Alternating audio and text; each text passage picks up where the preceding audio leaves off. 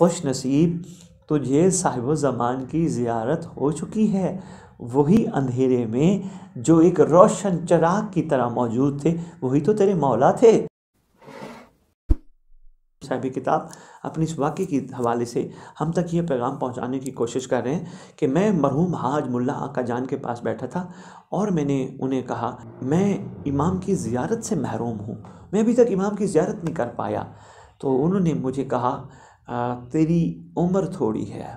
मैंने कहा वो चाहें तो जितने भी उम्र हो, जितना भी सिन हो, वो चाहे तो क्या नहीं हो सकता? जब मैंने उनके, उनसे कहा तो उन्होंने कहा हाँ ये तो वो चाहे तो क्या नहीं हो सकता? भी यही नहीं, अगर उन्होंने चाहा तो सलमान को भी अपने दीदार से मुशरफ फरमाया। अलबत् हज़रत चाहें तो इंसान बाज़मत है। उनके जुमलों को सुन के मैं बहुत खुश हुआ। मुझे हिम्मत मिली कि वाकई ऐसे हो सकता उन्होंने कहा, ऐसा करना, कल हरम इमाम रज़ा सलाम पे आना तो इन अल्लाह ने चाहा तो तुम्हें खुशखबरी मिलेगी। अच्छा यहाँ एक छोटी सी बात अर्ज़ करता जाऊँ ये भी आरिफ लोगों की, आरिफ बामल आलिम जो है ना माशाल्लाह ये आरिफीन जो हैं, ये हमेशा बंदों को हिम्मत दिलाते हैं। ये हिम्मत नहीं तोड़ते। यानी, नहीं तो इस काबिल नहीं है, तू तो कर ही कुछ नहीं सकता, तू तो बड़ा गुनागार है, तू तो बड़ा बदकार है। ये शेवा नहीं होता आशिकीन का। वो हिम्मत दिलाते हैं, हिम्मत बढ़ाते हैं। इन जैसे जैसे हिम्मत बढ़ती जाएगी, लोगों के सफ़र बेहतर से बेहतर होना शुरू हो जाएँगे।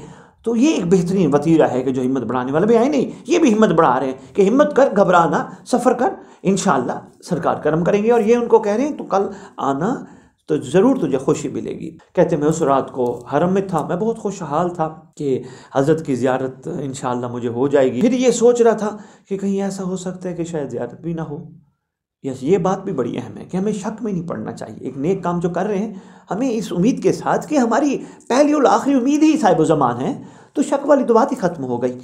तो मैं इसी सोच में खाना खाने के लिए कहते, मैं उधर रहा, हरम में रहा काफ़ी देर, फिर मैं खाना खाने के लिए हरम से बाहर निकला। एक तारीख सा महल्ला है जहाँ से मैं गुजर कर जाने लगा अपने घर की तरफ़, अंधेरा, तारीख महल्ला। मैंने एक शख्सियत को देखा। कहते हैं, उस तारीख महल्ले में, उस बेरोशन जगह पे मैंने उस सैयद को देखा कि जो मुझे वाज तौर पे नज़र आ रहे थे। कहते उनके सर पे मैंने जो अमामा देखा, वो सब्ज़ था। मैं अब चाह रहा था कि मैं उन्हें सलाम करूँ, उन्होंने खुद सलाम करने में पहल की। मुझे सलाम करने में पहल की, मैंने सलाम का जवाब दिया। कहते, गैर मामूली सी मुलाकात थी। ऐसा इतफ़ाक़ कभी भी नहीं हुआ। लेकिन मैं एक हैरान हो रहा था। इन्होंने मुझे सलाम करने में पहल की और ये अंधेरे में मुझे नज़र आ रहे थे। तो ये कौन थे? पता नहीं, हो सकता है मौला ही हूँ। पता नहीं, मौला ना भी हूँ। तो यही सोच के जब मैं मरहूम हाज मुल्ला आका जान के पास आया तो उन्होंने फ़ारसी में मुझे शेर पढ़ के कहा, खुश नसीब तुझे साहिब ज़मान की ज़ियारत हो चुकी है। वही अंधेरे में जो एक रोशन चराग की तरह मौजूद थे, वही तो तेरे मौला थे। उन्होंने तो तुझे ज़्यारत का शर्म बख्शा है। तू शक ना कर, वो बड़े करीम हैं, वो चाहे तो क्या नहीं हो सकता। वो कहते हैं, मेरी हालत बड़ी मुतगैर हुई ये सुनकर, और मुझे बड़ा अफसोस भी हुआ अपने आप पे, मुझे शक नहीं करना चाहिए, यकीन करना चाहिए था, और मौला की कदम बोसी भी हासिल करनी चाहिए थी। यहाँ एक और छोटी सी बात अर्ज़ करता जाऊँ। जितना जितना यकीन बुलंद होगा, उतना उतना कर्म बुलंद होगा।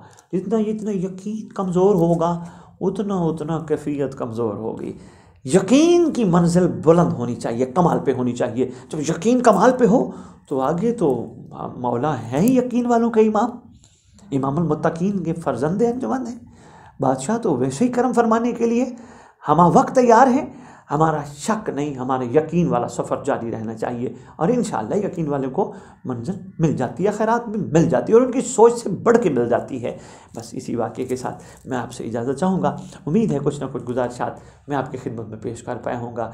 परवरदिगार, हम सब के हामी नासिर हों और इमाम ज़मान सलाम की हमें वो मारफत अता फ़रमाएँ जो कि हमारा हक है। और हम भी वो मार्फत हासिल करने वालों में शामिल हों, जिस तरह माजी में आशिकीन ने हासिल की थी। और इन वक्त दूर नहीं कि जब साहब ज़मान की ज़्यारत से हम सब मुशरफ होंगे। अल्लाहुम्मा सल अला महमद व आल मोहम्मद व अजल फ़ारज हम बेकायम अजल अल्लाह फ़ारज शरीफ।